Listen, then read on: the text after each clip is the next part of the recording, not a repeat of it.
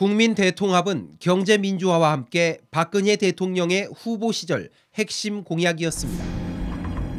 전태일 열사 동상을 참배하고 DJ의 비서실장이던 한광옥 씨를 영입하는 등 대통합 행보로 박빙 승리에 밑도를 놓았습니다. 과거 반세기 동안 극한 분열과 갈등을 빚어왔던 역사의 고리를 화해와 대창평책으로 끊도록 하겠습니다. 그러나 국민 대통합 공약으로 명시한 부마 항쟁 피해자 보상은 현재 크게 후퇴했습니다. 취임 첫 해인 2013년 말 법안이 통과돼 심의위원회가 구성됐지만 지금껏 접수된 피해 신고는 고작 90여 명.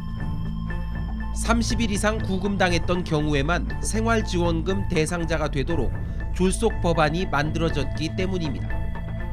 16일 날 일어나고 26일 날 어, 시해를 당하는데 그때 잡혀 있던 사람들이 1,500명 가까이 되었는데 구류자들이 거의 다 풀려납니다. 그러니까 30일 이상 살았던 사람들이 거의 없다라는 거죠. 우리가 특별법을 만들 때, 음. 그, 구류자 문제를 이미 예견하고 문제를 삼았는데도 어, 음. 법을 그냥 먼저 만들기 바빴던 거죠. 그렇죠. 대통령 공약 사항이었고 그러다 보니까 정부 쪽에서는 어, 일단 법부터 만들고 보자. 박정희 정권 시절의 긴급조치 피해자 명예회복 공약은 아예 첫 발도 떼지 못했습니다. 박 대통령이 의원 시절 직접 제출한 관련 법안이 아직도 국회 법사위에 계류 중입니다. 피해자들은 사실상 기대를 접었습니다. 그래도 뭐 본인이 자기 아버지 행위를 반성한다 하니까 아 참 이 정부가 뭔가 새로운 뭘 하려나 이런 대단히 의아하게 생각하면서도 어, 그런 생각을 했던 것도 사실이죠. 근데 결과적으로는 요즘 돌아가는 꼴로 봐서는 역시 역시나 그렇구나. 그 공약은 이미 폐기된 것으로 우리는 보고 있습니다. 그나마 대선 과정에서 약속했던 국민 대통합위원회가 재작년 6월 대통령 직속기구로 출범했습니다. 박 대통령은 첫 회의를 주재하면서 단순히 정책의 자문에 그치는 것이 아니라 갈등 현장의 목소리를 많이 들어달라고 주문했습니다.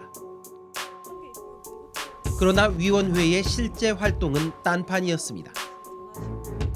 우리 사회의 갈등 해소 방안을 마련한다며 비슷비슷한 토론회와 간담회, 세미나를 30차례 이상 실시했습니다. 작은 실천 큰 보람이라는 이름으로 일종의 국민의식 개혁 운동도 선포했습니다. 하지만 세월호 특별법을 둘러싼 국민적 갈등이나 밀양 송전탑 문제 등 정부 정책과의 마찰 현장을 직접 찾는 일은 없었습니다. 지난해 서울시의 요청에 따라 용산 화상 경마장 반대 주민들을 한 차례 만난 게 전부였고 이때도 주민들에게 마사회의 입장을 단순 전달했을 뿐입니다. 국민권위 같은 경우는 국무총리 산하 기관이고 그다음에 국민대통합위원회는 대통령 직속이잖아요. 그래서 아 이제 갈등이 해소되고 이제는 소통이 되는 거라고 사실은 굉장히 기대를 많이 했었어요. 기대를 한 했는데 지금 결과적으로는 된 거 아무것도 없으니까 그 기대가 너무 커서 그랬는지 거기에서 오는 그 소외감이라든가 거기 공허함은 또 기대치만큼 크더라고요. 국민대통합위원회 측은 갈등 현장에 직접 개입하는 건 애초부터 자신들의 역할이 아니라고 말합니다. 위원회가 그 기본적으로는 대통령 소속 자문위원회잖아요. 그 자문위원회는 이제 그 실행 실행 권한이 없습니다. 행 권한이 없어요. 그래서 저희한테 있지 않은 권한을 요청한 거이기도 해요. 위원회 출범 초기 대통령의 말과는 정반대되는 얘기입니다. 왜 이렇게 된 걸까? 현 정부 들어 신설된 대통령 직속위원회는 세 곳. 이 가운데 박 대통령은 문화융성위원회의 네 차례 회의를 모두 직접 주재했고 청년위원회도 6차례 회의 중 3차례를 주재했습니다. 그러나 국민대통합위원회는 출범 이후 5차례 전체 회의 가운데 첫 번째 회의만 주재한 뒤 지금까지 전혀 참석하지 않고 있습니다. 국민 대통합에 대한 대통령의 관심이 멀어진 게 아니냐는 질문에 청와대는 제대로 된 설명을 내놓지 못했습니다. 좀 국민 대통합위원회는 왜 이렇게 좀 일정이 안 잡히신 건지 이렇게 참석하시고 주재하시는 게 좀 덜한 것 같아서 그 특별한 이유가 있을까요? 여러 일정이 이제 올라오면 그때그때 상황에 따라서 예. 그 저희들이 결정을 하는데 일부러 뺐다던가 음. 예 뭐 그런 게 없는 건 확실합니다. 그런데 음. 에, 지금 뭐 그 상대적으로 적었다면 네. 적은 거를 우리들이 에, 그런 상황을 에, 뭐 이렇게 지적해 주셨으니 예, 예. 어, 어, 그 상황이 어떻게 됐는지 그러나 여당 내에서조차 대통령의 의지가 문제라는 지적이 나옵니다.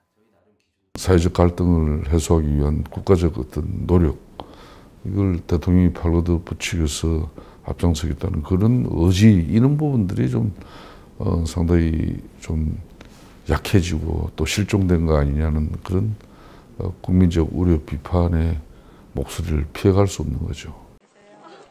고질적인 지역 갈등 해결에 대한 의지도 마찬가지입니다. 공공부처와 공공기관 또 공기업을 막론하고 호남의 인재들 여러분의 아들 딸들이 마음껏 능력을 펼칠 수 있게 하겠습니다. 실제로는 어땠을까? 현 정부 들어 임명된 총리와 장차관, 청와대 수석 등 고위공직자 156명의 출신 지역을 살펴보면 영남 33%, 호남 14%로 심각한 영남 편중입니다. 특히 현재 5대 사정기관장 가운데 4명이 영남 출신입니다. 결국은 능력 있는 사람이 모든 지역에 다 있어요. 근데 지금은 어떻게 되어 있냐면 지역 안배를 하지 않고 능력 중심으로 한다는 구실하에 특정 지역의 인재를 쓰면서 어, 어, 지역 안배를 하지 않는 것이거든요. 그건 무슨 얘기냐면 역으로 얘기하면 다른 지역에 있는 사람은 어, 능력이 없는 사람이라고 하는 그런 역설이 또 됩니다. 그러면 얼마나 많은 국민들에게 그 상처를 주는 말이에요, 그 말이.